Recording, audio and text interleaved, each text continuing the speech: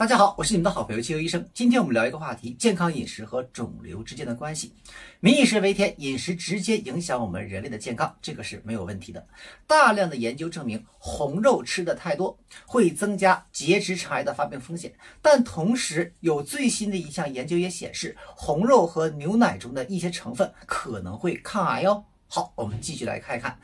有一种成分叫反式异油酸，反式异油酸叫 TVA，它是一种长链脂肪酸，存在于牛羊肉和乳制品中，是一种大自然存在的反式脂肪酸。一提反式脂肪酸，很多人都说，哎呀，这个反式脂肪酸是不好的，但是这个反式脂肪酸很特殊。TVA 呢是母乳中富含的反式脂肪酸的主要形式，但人体不能内源性的产生 TVA，需要从食物中获取。哺乳动物将其转化为胃硫酸，一种共轭的亚油酸，并且显示出了抗癌的特征啊，好神奇呀！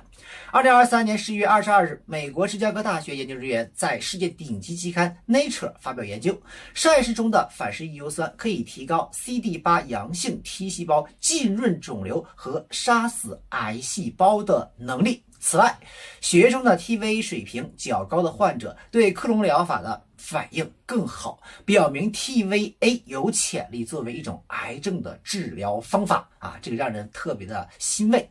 在这项研究中，研究人员组建了一个包含二百五十五种营养化合物的一个库啊，其中包含不同的蛋白质和脂肪等。那么，重点关注了可能增强某些 T 细胞激活的化合物。研究发现，在前六种的候选化合物中，TVA 激活 T 细胞效果是最好的。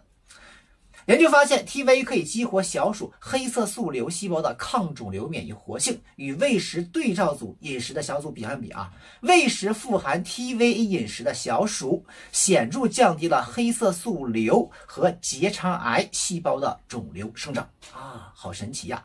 此外，TVA 饮食还增强了 CD8 阳性 T 细胞浸润肿瘤的一个能力，而进一步的分析发现，TVA 通过灭活细胞表面我们叫 GPR43 受体，专门促进 CD8 阳性 T 细胞的抗肿瘤活性。CD8 阳性 T 细胞是一组呢对于杀死癌细胞至关重要的免疫细胞。最后，研究人员还分析了接受。我们叫 CRT，叫 CAR-T 细胞治疗疗法的淋巴瘤患者，发现血液中 TVA 水平较高的人对免疫疗法的反应更加的有效更好。在一项实验中，TVA 增强了免疫治疗药物杀死取自三个人人类白血病细胞的这样的一个能力，而且在临床上也取得了同样的一个发现。然而，研究人员强调，人们不应该为了获得 TVA。啊，过量的食用红肉和乳制品，因为过量的食入红肉啊，可以明确的增加乳腺癌、结肠癌和直肠癌的风险。重要的是要确定营养元素的最佳量，而不是食物的来源。好，那么希望我们了解更多的健康饮食方法，这样呢可以让我们变得更加健康、更加长寿。好，也欢迎大家关注七医生规划健康，我们明天再见。